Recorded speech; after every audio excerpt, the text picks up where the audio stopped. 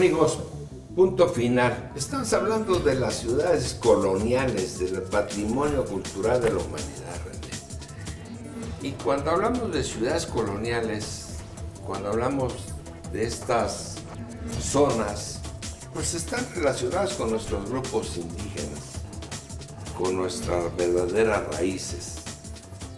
Y a veces a mí me da la impresión, cuando veo lo que está sucediendo, vengo a la mejor. Yo no soy, no creas que soy de los de la vieja guardia que ya de vieja les da como a las prostitutas por dar consejos. No. ¿Eh? Sí, yo creo que debemos tener una visión muy fresca de lo que está pasando en las cosas. Pero en mis tiempos, vamos a llamarle así, que no son tan lejanos, teníamos un gran respeto por nuestros grupos indígenas. Lo seguimos teniendo. Seguimos eh, admirándolos, estudiándolos. Les, eh, los observamos, los vemos, nos encariñamos con ellos porque sabemos que de ahí venimos. Y ahora cuando tú ves lo que sucede, por ejemplo, la agresión esta que hicieron en Nochistlán, cuando faltos de una visión no solamente estratégica, sino política, lógica, ética, moral, ¿no? Es decir, el agresor del YEPO, un ex policía, el exdirector no era, no, era, no era un pedagogo, era un policía, ¿verdad?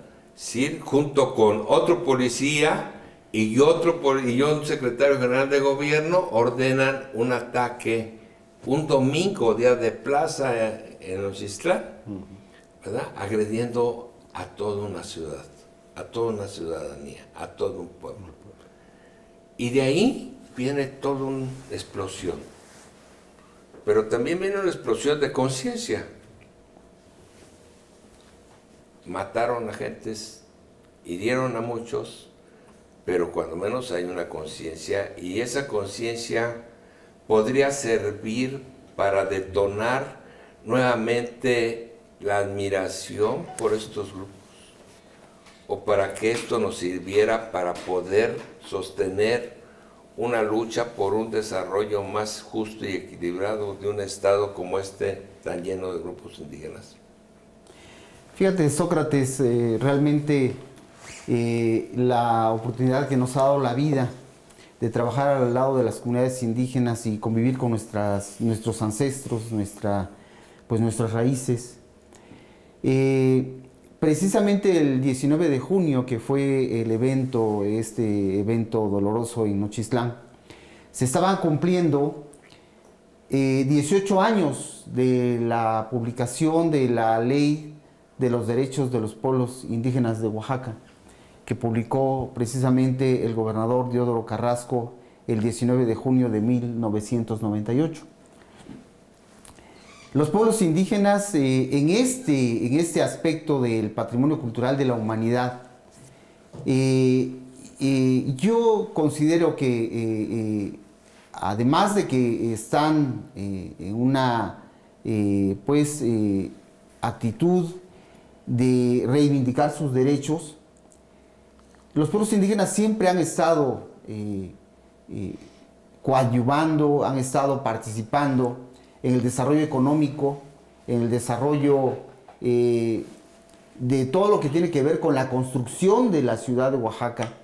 Los pueblos indígenas, el arquitecto Rafael Vergara lo sabe, con sus grandes capacidades humanas, fueron los que edificaron los, la, ciudad, han, sido los que con su trabajo, con su trabajo físico, han edificado la ciudad. Pero además sus lenguas, sus lenguas indígenas, justamente su forma y, la, y, la, posibilidad de comunicación han recreado esta realidad.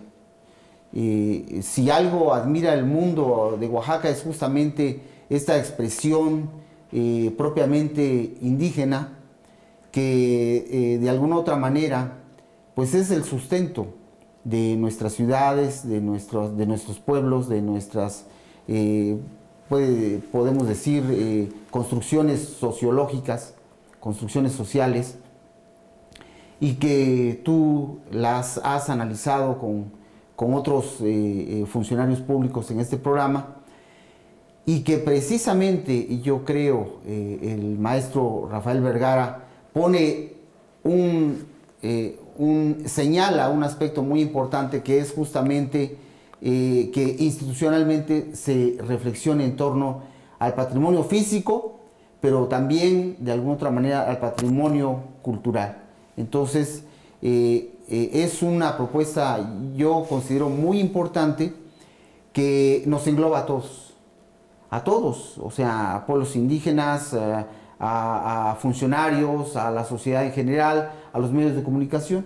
Y en ese sentido, eh, eh, creo que, es una gran oportunidad que tenemos los oaxaqueños para que esta propuesta pueda ser respaldada y que siga eh, fortaleciéndose el patrimonio cultural de la humanidad y que tengamos la posibilidad de continuar con esta propuesta que damos al mundo los oaxaqueños y que nuestras propuestas desde los pueblos indígenas también puedan seguir siendo rescatadas. Bueno, yo estoy totalmente de acuerdo.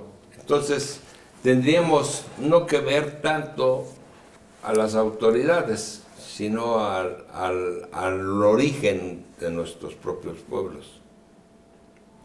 Bueno, el, origen de nuestros propios pueblos. Eh, los pueblos indígenas eh, están participando. Como te digo, los pueblos indígenas no están esperando a que se les ayude. Los pueblos indígenas están participando desde el ámbito incluso de la producción agropecuaria, desde el ámbito de la producción artesanal, desde el ámbito de la producción, como te digo, de, su mano de obra en las construcciones arquitectónicas que se siguen construyendo en todas partes.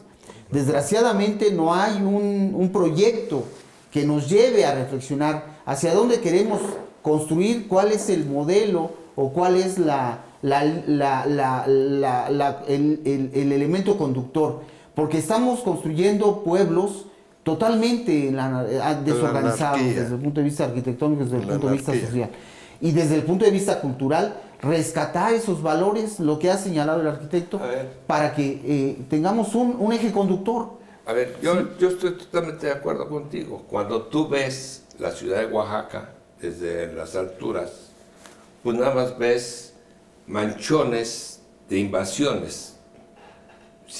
no invasiones por, de la gente, ¿no? sino más bien ventas que han hecho una bola de ampones, ¿no? Para que haya ahí un desarrollo anárquico y desequilibrado. Claro. Sin embargo, nadie le ha puesto tema a nada estamos hablando de una ciudad cultural, de la humanidad, ¿eh? en donde ni siquiera tiene un plan rector de construcción. No y, no está respetado. Yo recuerdo en la época de Eladio Ramírez, salieron una ley donde no se iba a tocar los fondos agropecuarios cercanos a la ciudad para permitirle tener los matos fiáticos, etcétera, y sin embargo fue lo primero que se vendió después de que él salió. Sí, Plaza del Valle y todo eso. Y ahí están todos, ahí tienes todos, ¿no? Sí, y si, y si volteas hacia los cerros, ahí lo tienes, y tienes una ciudad que tiene un decreto, ¿verdad?, de ciudad colonial y patrimonio cultural de la humanidad, y sin embargo tiene un pañal ahí como un molote puesto, ¿sí? nada más porque a un grupo de políticos se les ocurrió que había que poner eso para ganarse una buena cantidad de dinero. ¿no? Y entonces, ¿qué estamos haciendo?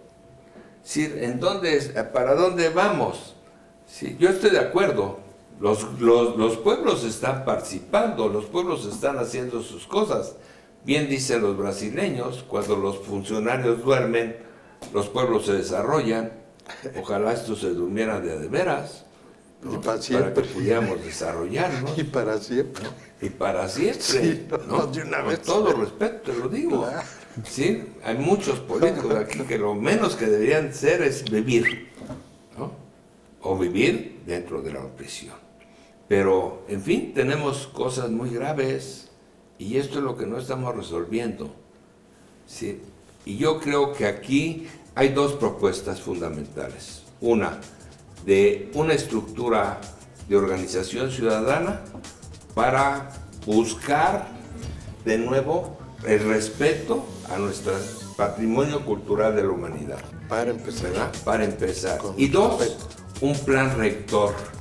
Un plan rector que debería ser conocido por todos y aceptado y sobre todo obedecido por todos. De otra manera, pues vamos a estar en una peor anarquía y de nada nos sirven los papelitos de que somos una ciudad, patrimonio cultural de la humanidad, cuando estamos echando todo por la borda. Vamos a un último corte comercial y regresamos con esta parte final de punto final.